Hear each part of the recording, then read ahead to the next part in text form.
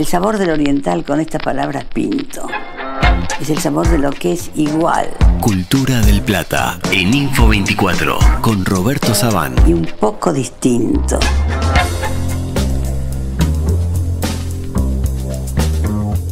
Roberto Sabán, hoy más a la distancia que nunca. ¿Por qué? ¿Dónde andás? Estoy en Costa Rica hoy. ¿Qué haces ahí?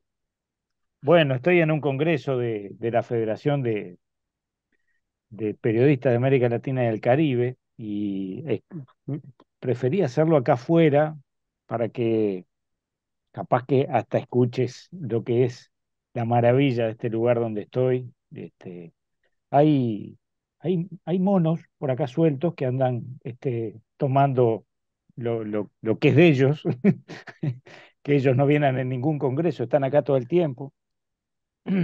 una vegetación exuberante y, aves de, de, todo lo que te puedas imaginar eh, pululan por acá. Es, es realmente muy, muy lindo. Qué lindo, qué lindo. Ya, ya me vas a contar luego la, la parte. Con gusto. La, la parte sustancial.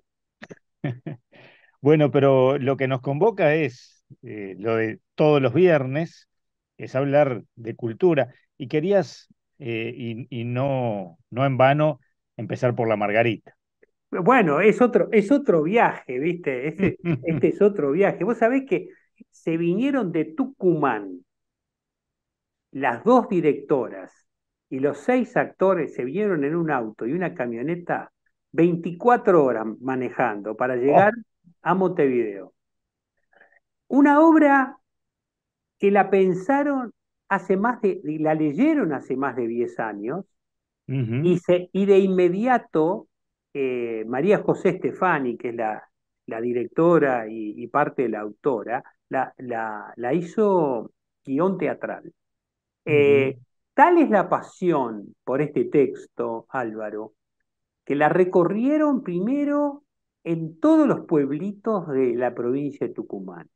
Después la recorrieron desde Ushuaia hasta el norte argentino.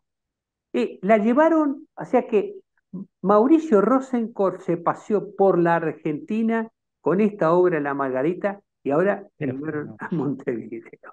Este, una, una proeza, este, son seis actores jóvenes divinos, una, una, eh, un, trabajo actoral precioso que combina además con música, porque en esa camioneta se montaron, también se trajeron sus instrumentos musicales. Y, acá, Álvaro, en, Montevideo estuvieron en el Liceo de la Providencia, en el barrio Casabó, en, el, una, en una olla popular. En el Teatro Florencio Sánchez están en este momento actuando, hoy, hoy es miércoles, estamos adelantando este, este trabajo juntos. Probablemente estén en, el, en, Toledo mañana, estuvieron en el Museo de la Memoria y yo los vi en la cárcel de mujeres de Cabildo, en una experiencia que fue preciosa porque Mauricio Rosenkorn nunca había estado en esa cárcel del lado de arriba, por supuesto que del lado de abajo sí, de alguna manera estuvo, y, y se produjo en ese momento, Álvaro, el encuentro eh, tan esperado entre la directora, eh, que había trabajado tanto, María José Estefan, había trabajado tanto el texto de, Mauricio que el encuentro está, está, filmado y lo estamos viendo. Así que una experiencia preciosa de, este, de este, evento eh, que viene recorriendo este grupo de teatro musical tucumano en Montevideo. Bueno, y hay otra propuesta que de alguna manera me da un poquito de miedo, tiene que ver con brujas. Bueno, esto, esto se estrena el viernes en el Parque de los Carruajes. Eh, mm, un lugar del que ya has hablado en otras ocasiones, te apasiona ese lugar. Ese, ese lugar tiene, tiene una magia, tiene una magia. Fernando, bueno, Fernando García, que es el el coleccionista, el, gran millonario de aquellos años, tiene, se armó esa quinta. Y acá va a estar eh, una obra que se llama Salem, Las Brujas, este, que, está basada un poco en, en la obra de, eh, Las Brujas de Salem de Arthur Miller.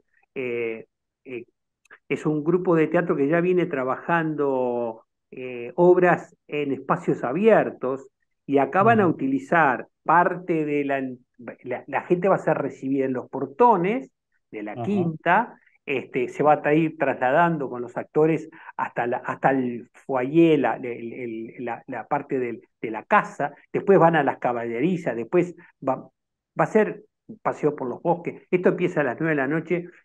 Lamentablemente va a estar hasta el 5 de noviembre, así que reserven con tiempo. Hay que, hay que aprovechar. Va a ser un, realmente un espectáculo este, que, que va a valer la pena por poder asistir. Bueno, y de allí nos vamos a un homenaje eh, especialísimo, 100 años de, un... ¿Cómo lo dirías? ¿Cómo, lo definirías a Páez Vilaró?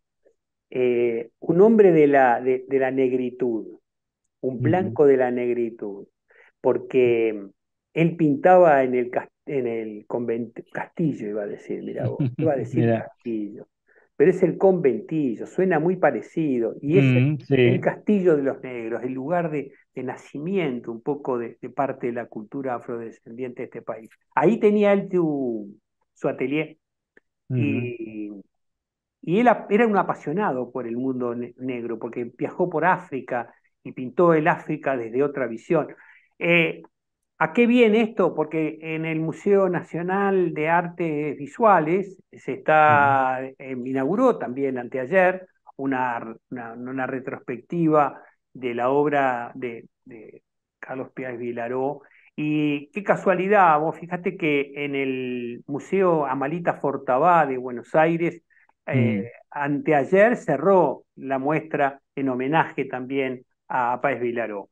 Eh, un hombre que tuvo mucho que ver con la Argentina, tenía su tremendo taller en el Tigre, este, pasaba su año en, el, en, el, Tigre, en su taller, y, los, y los, eh, los, los, veranos los venía a pasar al Uruguay. Así que bueno, son los 100 años de este, de este gran pintor uruguayo que además salía, salía a, bailar y, eh, en las llamadas, un, hombre entrañable. A mí me tocó el privilegio de que una vez la Intendencia de Durazno le quiso hacer un homenaje en Punta del Este y me pidieron una obra mía para regalársela. Mira. tuve el privilegio de regalarle una, una cajita, yo hacía en esa época, gordas en las playas, y bueno, ese fue un, encuentro que tuve con él. Oh, qué lindo, qué lindo ese recuerdo. Qué lindo. Uh, habla, habla mucho de tu obra, además.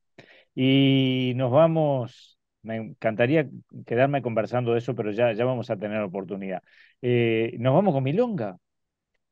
Eh, Laura eh, González es una uruguaya cineasta, ópera prima, vive en Inglaterra, esta su ópera prima y la basa en, una, en un episodio que le pasa en el 2011.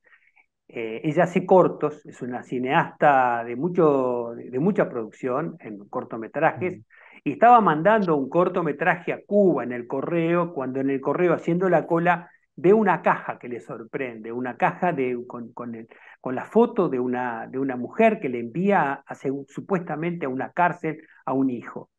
Eh, y ella a partir de esa caja y de esa, imagina todo una, una, trama, una trama interesantísima de una mujer eh, que ha sufrido violencia doméstica, eh, que ha tenido episodios, episodios dramáticos en su vida y que ahora intenta recomponer su relación con su hijo que está preso y encuentra en, en la milonga este, un, como un bálsamo.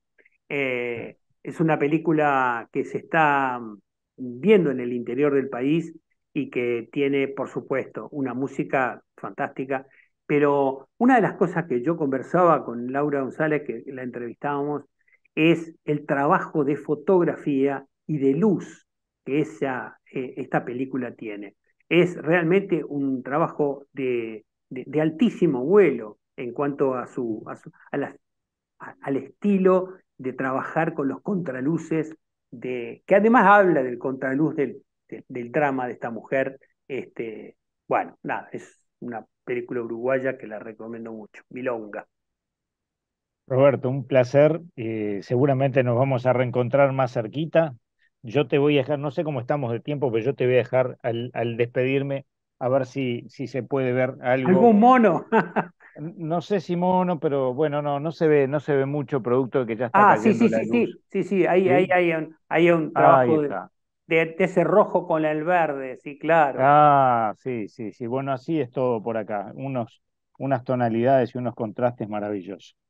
Volvé, Te mando ¿eh? un gran abrazo y otro a la audiencia. Volvé, Álvaro, ¿eh? No te me quedes por ahí. Chao, hasta la Hay semana que muchos viene. afectos como para no volver. Bueno, buenísimo. Chao, un gusto.